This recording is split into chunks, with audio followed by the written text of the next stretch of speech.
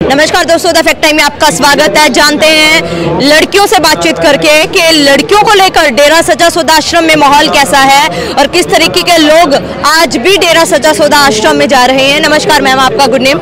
ऋषिता क्या काम करते हो? मैम आप मैं बीए कर रही हूँ. मैम डेरा सच्चा सौदा संस्था को आप कितने समय से जानते हो? मुझे दस साल हो गए होंगे. मैम कैसा माहौल लगता है आपको? बींग गर्ल आश्रम का माहौल कैसा लगता है? माहौल मुझे बहुत अच्छा लगता है. इतनी फ्रीडम हमें कहीं नहीं मिलती जितनी हमें यहाँ मिलती है. और यहाँ पर ऐसा कुछ भी नहीं है जो कि न्यूज़ में दिखाया जाता है जो रिपोर्टर्स बोलते हैं।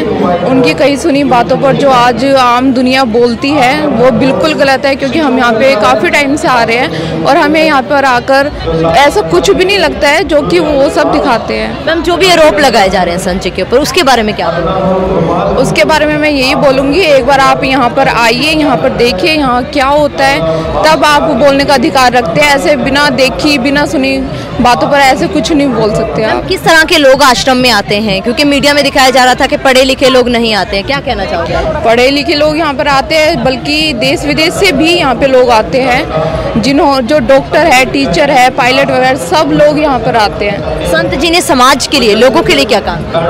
संत जी ने समाज के लिए बहुत कुछ किया है बहुत कार्य किए हैं। जैसे कि उन्होंने ब्लड डोनेट करके लोगों को जागरूक किया है कि ब्लड डोनेट करना चाहिए।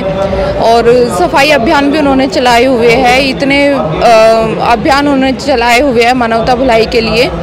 जो जो सरकार भी इतना नहीं करती है वो ये लोग ये लोग करते हैं यहाँ। क्या जिनकी ज़रूरत है मैम समाज को यस बिल्कुल है। यहाँ पर समाज को इनकी इतनी ज़रूरत है क्योंकि ये लोगों को जागरूक करते हैं कि हमें काम करना चाहिए मानवता भलाई के लिए। उनको भी जागरूक करना चाहिए दूसरों के लिए।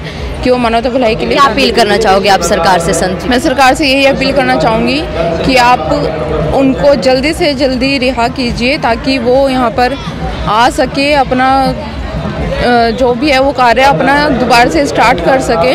वैसे कार्य अभी भी चल रहे हैं उनके पीछे जैसे कि लोग अपने बर्थडे पर भी पौधारोपण करके उनको बधाई देते हैं जन्मदिन की। जी मैम, बहुत बहुत धन्यवाद। लड़कियों का मानना है कि सबसे सुरक्षित जगह है डेरा सचा सौदा आश्रम। ऐसा कभी नहीं देखा जैसा मीडिया में दिखाया जा रहा था। आप भी सोचिएगा, फिर आखिर क्यों एक यहाँ आने वाली आश्रम में आने वाली करोड़ों लड़कियों की इज़्ज़त को तार तार किया गया? देखते रहिए ऐसी सची बातें। फैक्ट्स के साथ फैक्ट टाइम में बहुत बहुत धन्यवाद।